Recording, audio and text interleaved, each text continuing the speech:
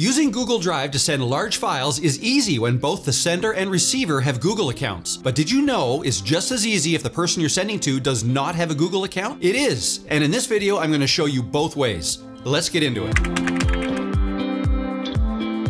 Okay, so here I am in my Google Drive. I have a Google Drive account because I'm a freelancer and I edit videos for clients and I'm always having to send large files, video files typically, to clients.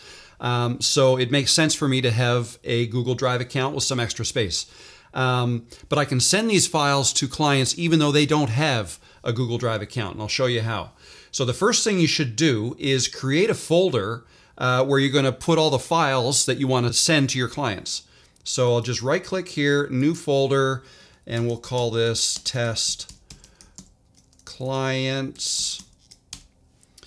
Okay, and now let's go into that folder.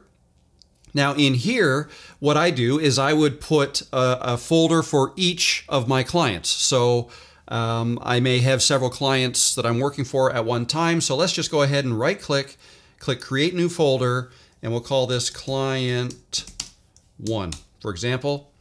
Okay, so now I have a dedicated folder for this client. So double click to go into that folder. And now let me just add a file. I'm just going to drag a, a random video file over here and I'll upload that file to this folder. Okay, so with the file uploaded, uh, let's say I want to share this folder with my client. I may have several files that I want to upload in here that I want him to be able to download.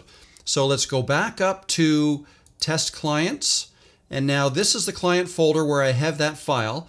What you're going to do is with it highlighted, you can either click this icon here, the share icon, or simply right click here and then hover down to the share icon here and click on share.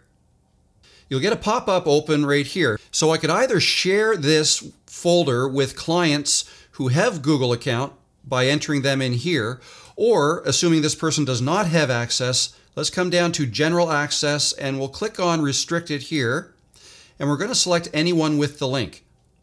Once we have that selected, I'm going to click copy link and then click done. So now I have copied the link and now all I have to do is open up an email or a message to my client, paste the link, and just so you know, the link will look like, let's just paste it here.